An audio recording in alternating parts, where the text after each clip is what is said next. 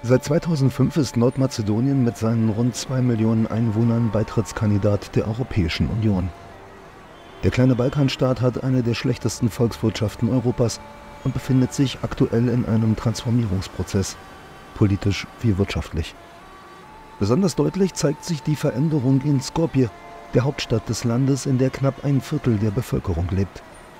Im Zuge eines regelrechten Baubooms wurde die Innenstadt in den letzten zehn Jahren rundum erneuert. Am Fluss Varda errichtete man Prunkbauten und Denkmäler. Alles im Zuge des Projektes Skopje 2014, ein riesiges Bau- und Sanierungsvorhaben, womit die vorherige Regierung versuchte, das nationale Selbstgefühl der Mazedonen zu stärken und, ganz besonders, ihre vermeintliche Nachkommenschaft zum antiken Makedoniens Alexander des Großen darzustellen. Das Ergebnis dieses urbanistischen Gestaltungswillens ist eine Art groteskes Operettenstadel entlang des Varda-Ufers. Am Makedonierplatz befindet sich die ehrfurchterregendste aller Statuen, 23 Meter hoch, ein gigantisches Reiterdenkmal. Alexander der Große mit gezogenem Schwert wird beim wilden Ritt auf hohem Sockel von Löwen bewacht, umgeben von einem Brunnen, aus dem Wasserfontänen schießen. 80 Millionen Euro sollten die Umbauten, die fast ausschließlich ein paar hundert Meter der Innenstadt umfassen, ursprünglich kosten. Fast eine halbe Milliarde Euro hat Skopje 2014 mittlerweile verschlungen. Die enormen Kosten stellen eine kolossale Belastung für das kleine Land dar. Viele Mazedonen sehen das Projekt sehr kritisch. In einem Land mit extrem hoher Arbeitslosigkeit und einem Durchschnittseinkommen von rund 350 Euro monatlich hätten die Millionen effektiver eingesetzt werden können. Nordmazedonien leidet noch immer unter den Nachwehen des Niedergangs des ehemaligen Jugoslawiens und dem Übergang in die Marktwirtschaft. Wie in vielen süd- und osteuropäischen Staaten gehören die Roma, die in Mazedonien die größte ethnische Minderheit stellen, zu den Verlierern der Übergangsprozesse.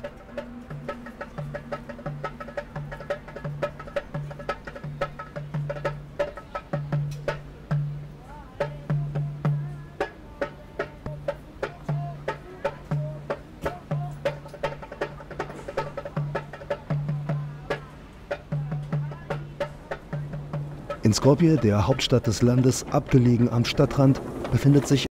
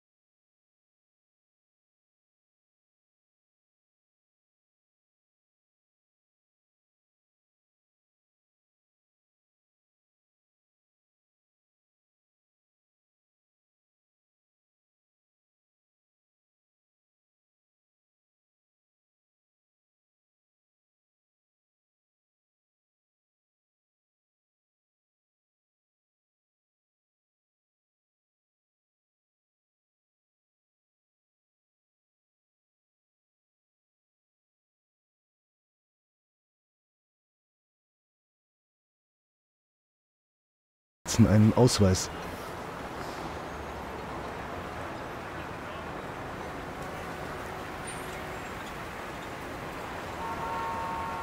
Seit rund 15 Jahren ist Schutka auch die Heimat von Helmut Z.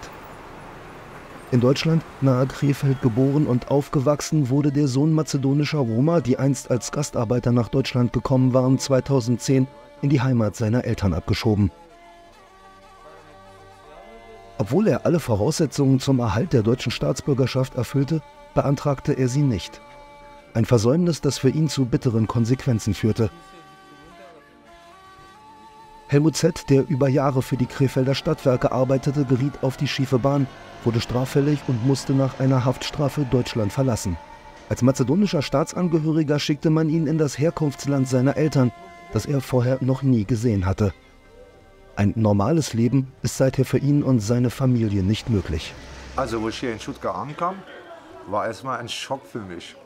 Wo ich das hier gesehen habe, wie die Leute hier, die Mazedonier, Roma hier leben und ich auf einmal hier unter denen war. Ich kannte dieses Leben hier nicht. Also von den Roma. Ich kannte das Leben nur von Deutschland. Das war richtig schockierend für mich, wo ich hier nach Mazedonien kam. Ich hatte erstmal keine Unterkunft. Ich hatte kein Geld.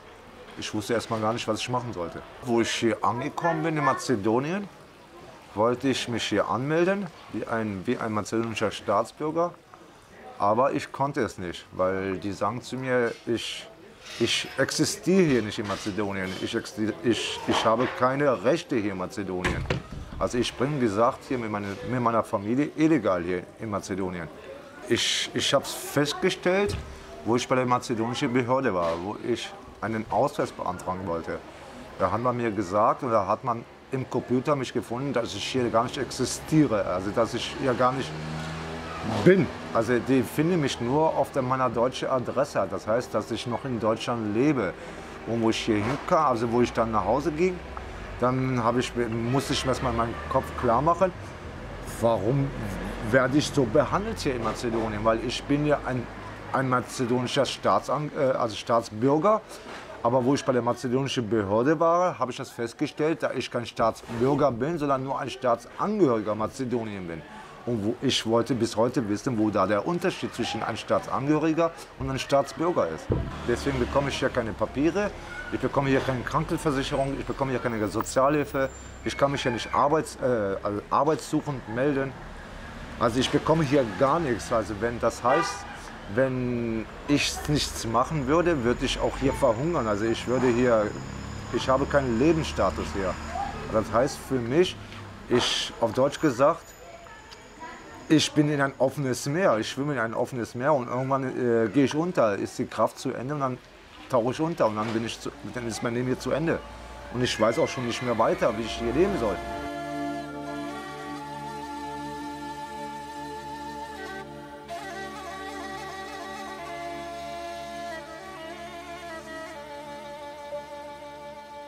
Das ist eine Roma-Stadt, das ist eine Roma-Stadt hier, Stuttgart. Das ist so gesagt die Hauptstadt von Mazedonien, wo Roma leben. Das ist die Roma-Hauptstadt von uns. Und wir haben, wir Roma haben hier Schwierigkeiten von den Mazedoniern. Also wir kriegen keine, keine Arbeit von denen, wir bekommen keine Rechte von denen, weil wir Roma sind. Die wollen mit uns so auf Deutsch gesagt nichts zu tun haben. Wir Roma, wir sind wir wollen arbeiten, aber wir kriegen von der Regierung keine Arbeit. Es sind auch viele hier Kinder oder Jugendliche, die wirklich Schule haben, aber die keinen Job haben. Und deswegen sind wir Roma, wir müssen vom Müll leben, von den Mülltonnen oder wir sammeln Flaschen oder Plastik, damit wir uns irgendwie überleben hier wir, wir, müssen von, diesen, von dieser Armut das Beste rausmachen. Also wir leben halt. Das ist, ich, wenn du siehst, wo die Leute, wo die Menschen leben, die Roma, die haben keine eigenen Wohnungen. Die sind, in, also die sind nicht integriert hier, also hier in Mazedonien. Also die sind, wie soll man das sagen auf Deutsch? Man weicht die Roma ab. Die, die ernähren sich von Mülltonnen. Also die, die leben in Hütten, die leben unter den Brücken. Und daran erkennt man die Roma. Doch auch Suto befindet sich im Wandel. Bald schon wird es Stuttgart in dieser Form nicht mehr geben. Die Stadt verkauft nach und nach die Grundstücke und immer mehr Angehörige der wesentlich besser gestellten albanischen Minderheit lassen sich im einstigen Roma-Stadtteil nieder. Eine Ausweichmöglichkeit für die Familien, die sich den Kauf eines Grundstücks nicht leisten können und ihr Dach über dem Kopf verlieren, gibt es nicht.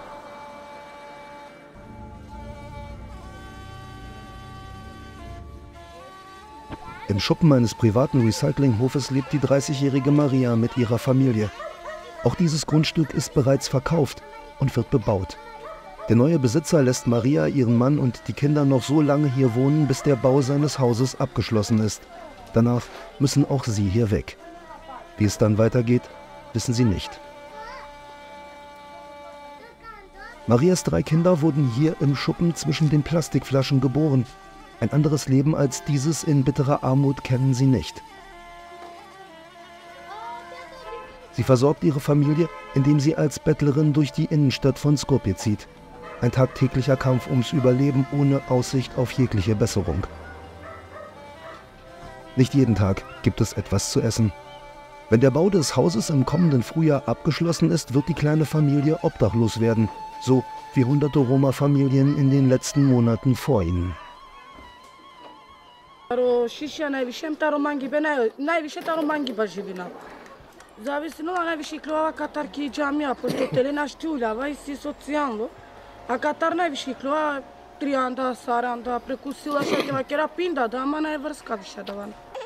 Зависино, а джава ко мангиба кога вава кере, кинаален ге маро, хај баске кова, магар на кила му диви.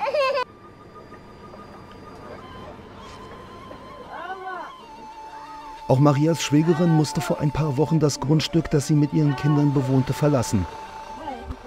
Nun lebt auch sie in dem kleinen Schuppen. Drei Erwachsene und sieben Kinder auf engstem Raum.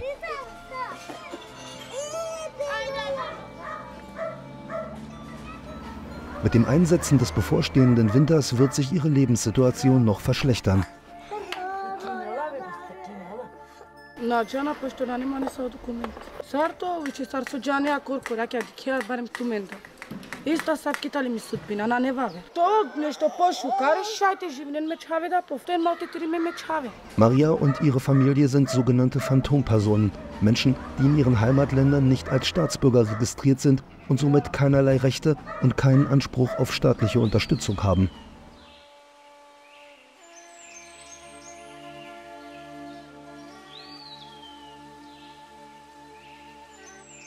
Am Rand von Stuttgart leben die, die die Stadt der Roma bereits verlassen mussten. Die neue Heimat der Gestrandeten ist eine alte Müllkippe in der Nähe des neuen Fußballstadions von Skopje. In den improvisierten Behausungen leben etwa 30 Roma-Familien, mehr als 200 Personen, darunter Dutzende Kinder. Die Menschen hausen hier unter katastrophalen Bedingungen. Es gibt keinen Zugang zu Trinkwasser, kein Abwassersystem und keine Stromversorgung.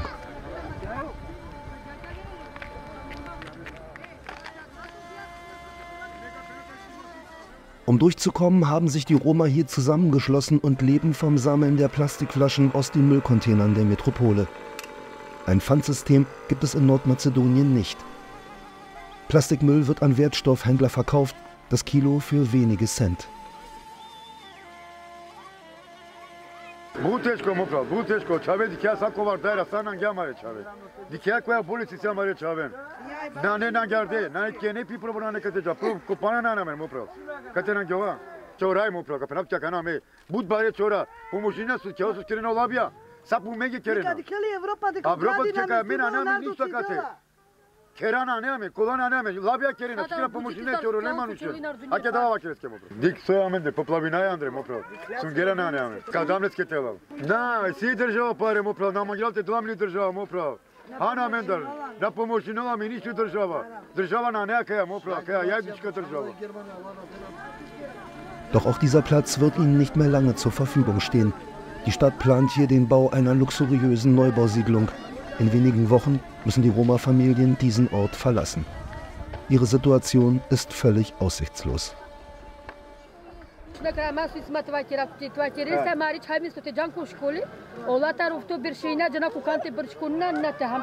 Пример, саракнат Европа, че пример главни стайни условия на ангиои бе, бе, чавинко школе, социално, са, нели. А Мари Европа това на, на Кирилали, значи Мари държа. Дика живине, Te dla mare условия, маре стајна, а маре социјално, никој на желат да што таро држави, тука би што се капи државата. Това тоа ќе Mancher hier schaffte es in der Hoffnung auf ein besseres Leben sogar bis nach Deutschland. Doch bleiben durften die mazedonischen Roma nicht. Nach wenigen Jahren kam die Ausweisung und es ging für die meisten zurück nach Skopje. Uh, it's good to Deutschland come here for cooking mit Leute. Was machen andere Leute? Und wie lange wohnst du schon hier? Bitte? Wie lange wohnst du schon hier? Ja, äh, hier äh, zehn, zehn Jahre. Diese Leute nicht gucken, äh, wohin sitzen, wohin schlafen, keine hier Wasser, mit Schule keine Kinder, alles so Katastrophe. Muss nicht, ich Roma für Deutschland zurück Mazedonien. Was machen hier Mazedonier? Keine. Ich für Deutschland geboren, wo wir sind. Ich ein Kind, drei Monate, drei Monate hier haben sie Baby. Ich komme hier, meine Kind krank. Die Zimmer, wo ich schlafen, diese Leute für Kind, das ist hier, äh, hier Katastrophe, keine hier Hilfe für die Leute, für Kinder, für wo ich schlafen, keine, keine wo ich nur diese, diese Bett, keine diese Bett. Diese, guck bitte. Entschuldigung, so, das ist nicht, äh, nicht Bett, das ist äh, so, schlafen, hier Wasser, hier alle Wasser, nicht? Guck, das ist, das ist Infektion, das ist Katastrophe, alle. Das Leben unter solchen Bedingungen ist hart und fordert letztlich auch seinen Tribut. Während überall in Schutka neue Häuser gebaut werden, bleibt für die Roma kein Platz mehr. Besonders die fehlende ärztliche Versorgung der ungeliebten Minderheit stellt ein großes Problem dar. Wer eine medizinische Behandlung nicht bezahlen kann, bleibt unversorgt und sich selbst überlassen. Also ich denke mal, ich bin, also so wie die Ärzte mir sagten, weil wir haben auch eine Zeit lang vom Mülltonnen gelebt. Ich habe auch bei eine, beim Schrottplatz gearbeitet, bei einer Flasche Recycling habe ich gemacht. Und diesen Duft und diesen Dreck, den ich eingeatmet habe, habe ich meine Krankheit durchbekommen. Also ich bin dann zum Krankenhaus gefahren und das Krankenhaus hat festgestellt, dass ich einen Tumor habe in meinen zwölf Fingern da. Und dann bin ich, ja, das war keine gute Nachricht für mich, wo ich diese Nachricht bekommen habe. Und ich, müsste, ich musste ganz dringend operiert werden. Und ich habe keine ärztliche Hilfe hier bekommen. Also von keinen Ärzten oder von, keiner, von keinem Staat hier, von keinem mazedonischen Staat habe ich irgendwelche Hilfe bekommen dass ich meine Krankheit, dass ich operiert werden kann. Und dann bin ich nach, dann bin ich nach Hause gekommen und ich muss ja auch eine Therapie haben, weil ich brauche diese Chemotherapie. Aber da ich mir das nicht finanziell nicht leisten kann, weil ich ja mittellos bin, ich habe ja von kein, irgendwo keine Einkommen her, also muss ich wieder versuchen, dass ich wieder vom Müll lebe, dass ich wieder vom Mülltonne mich ernähre oder äh, Flaschen sammeln gehe damit ich wieder ans Geld komme, dass ich irgendwie meine Therapie bezahlen kann. Aber in meinem Zustand ist es sehr kritisch, dass ich wieder die Arbeit machen sollte. Aber ich musste irgendwie meine Kinder ernähren, meine Familie irgendwie ernähren. Die Geschichte von Helmut Z endet in der Hauptstadt der Roma. Seine völlig unbehandelte Krebserkrankung schritt immer weiter und unaufhaltsam voran. Eine ärztliche Behandlung erhielt er nicht. Wenige Wochen nach diesen Dreharbeiten verstarb Helmut Z. in Skopje, Suto Orisari, Nordmazedonien.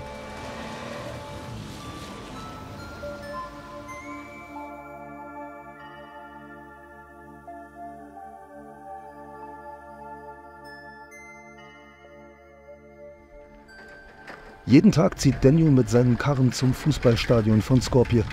Er sammelt Plastikflaschen aus den Müllcontainern Daniel gilt hier als besonders fleißig, doch seine Konkurrenz ist groß. Das Stadion zieht gerade am Wochenende hunderte Besucher an und viele hinterlassen den Plastikabfall, von dem Scorpius Roma leben. Paradox dabei ist, dass Nordmazedonien gerade hinsichtlich einer funktionierenden Abfallindustrie die Vorgaben der EU-Kommission nicht erfüllt. Die Bevölkerung tut sich schwer mit der Mülltrennung und so sind es ausschließlich die Roma, die aktiv, wenn auch aus der Not heraus, der Gesellschaft einen großen Gefallen tun und Abfallsortierungen vornehmen. Gedankt wird es ihnen jedoch nicht.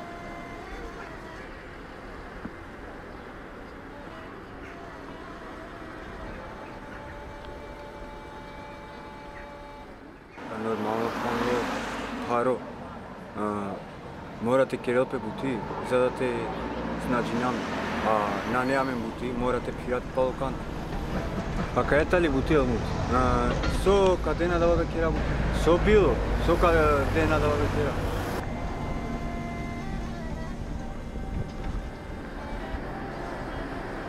Шишија ќе да поиши, ќе да пластики тоа, железо, со рака. А битнялен, а вела камионе, оманишко се не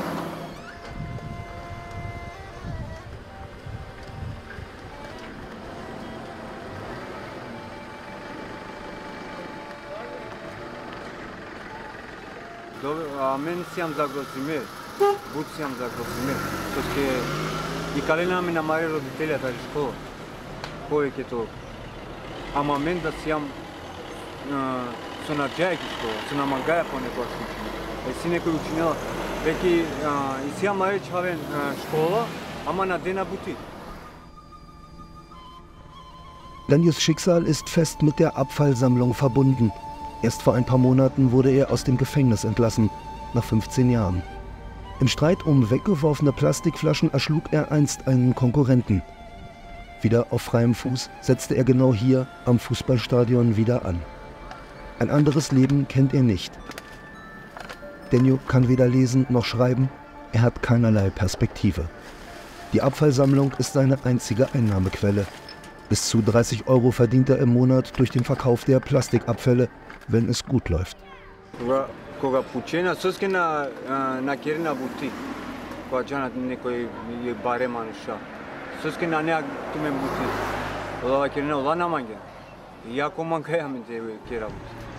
Doch auch Wertstofffirmen haben erkannt, dass das Geld in Nordmazedonien förmlich auf der Straße liegt. Die private Abfallsammlung wird nun unter Strafe gestellt. Die Sammlung und Verwertung von Plastikmüll soll in Zukunft nur noch bestimmten Unternehmen vorbehalten sein.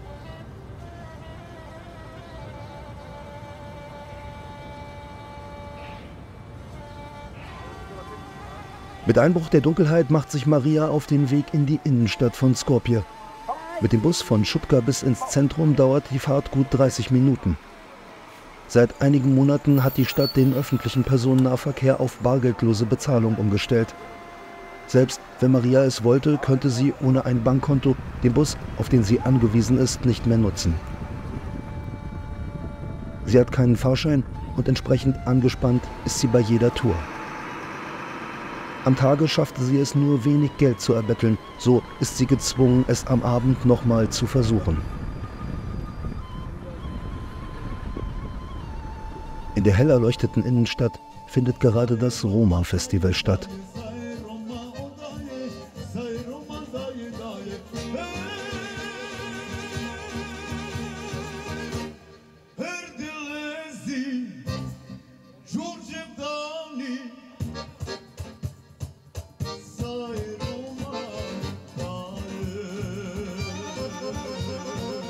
Die Touristen soll es wohl so wirken, als hätten die Roma einen festen Platz in Nordmazedoniens Gesellschaft. Dass die Realität ganz anders aussieht, kann jedoch jeder sehen, der sich von den Lichtinstallationen und angestrahlten Fassaden nicht blenden lässt. Das Erdbeben von 1963 dauerte nur wenige Sekunden und reichte aus, um große Teile der Stadt in Trümmern zu legen. Die Planer des neu gestalteten Skopje wollten eine moderne Stadt schaffen, eine, in der alle ethnischen Gruppen des Landes sich dieselbe Infrastruktur und dieselben Plätze teilen sollten. Die Roma hatte man schon damals nicht mit einbezogen. Heute stellen die erleuchteten Plätze und die grelle Promenade jedoch die Lebensgrundlage der Roma von Skopje dar. Nur hier besteht für sie die Möglichkeit, bettelnd zu überleben.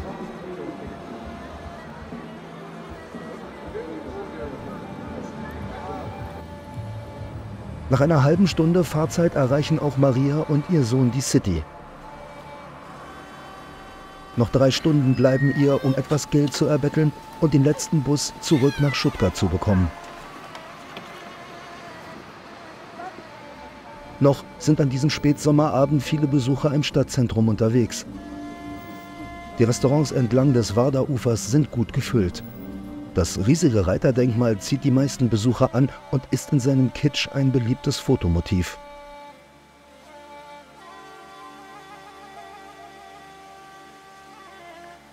Auf dem luxuriös wirkenden Makedonierplatz stellt Maria bettelnd mit ihrem Sohn auf dem Arm einen krassen Kontrast zu dem dar, was Skopje eigentlich sein will.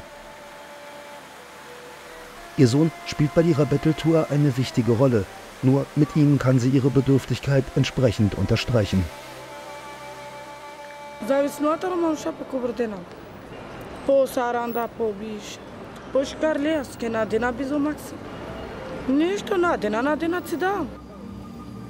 Es läuft nicht gut für sie. Vielleicht weil einfach zu viele Bettler an diesem Abend unterwegs sind. Wie sehr Maria auf das Geld angewiesen ist, kann man nur schwer erahnen. Bettler haben weltweit ein schlechtes Image. Nach ein paar Stunden, wieder auf dem Weg zurück zur Bushaltestelle, findet sich doch noch jemand, der etwas von Maria kaufen will. Überall auf der Welt bieten Bettler dasselbe Produkt an. Sie verkaufen ein gutes Gefühl. Das angenehme Gefühl, helfen zu können und wohltätig zu sein, lassen sich doch einige ein paar Cent kosten und sichern so Menschen wie Maria und ihrer Familie das tägliche Überleben. Menschen, die zwischen den Multimillionen-Fassaden, Lichtsystemen, Denkmälern und Brunnen der Balkanmetropole, die sich in den letzten 50 Jahren zweimal neu gestaltet und erfunden hat, um Geld betteln oder Müll nach Essen und Wertstoffen suchen.